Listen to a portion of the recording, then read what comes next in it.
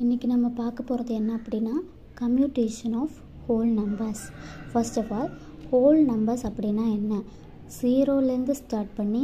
Infinity வரைக்கும் உள்ள எல்லா நம்பர்ஸுமே ஹோல் நம்பர்ஸ் தான். நேச்சுரல் நம்பர்ஸ்னால் ஒன்லேருந்து ஸ்டார்ட் பண்ணுறது ஒன்லேருந்து ஸ்டார்ட் பண்ணுறது நேச்சுரல் நம்பர்ஸ் ஹோல் நம்பர்ஸ்னால்